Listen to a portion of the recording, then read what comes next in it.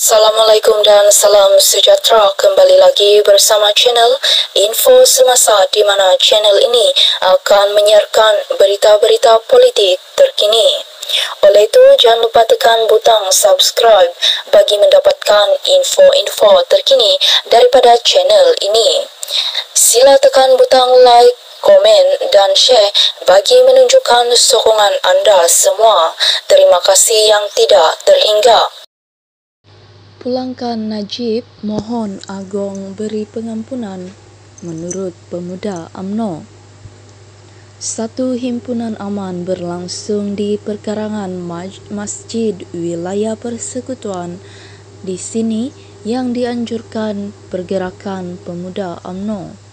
Kira-kira seribu orang hadir dan rata-ratanya memakai baju putih berteriak agar bekas Perdana Menteri Datuk Seri Najib Razak diberikan pengampunan diraja dan dipulangkan kepada rakyat.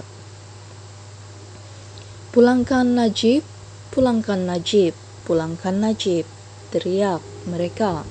Menurut Ketua Pergerakan Pemuda AMNO Dr. Akmal Saleh, Perhimpunan Aman itu bagi merayu yang di-Pertuan Agong Al-Sultan Abdullah Riyatuddin Al-Mustafa Billah Shah untuk memberikan pengampunan diraja kepada Najib. Kita mohon yang di-Pertuan Agong berikan pengampunan jika melihat ketidakadilan kepada Najib dan sudah tentunya Najib perlu dipulangkan semula kepada rakyat dan keluarga, katanya. Berita hari ini dipetik dari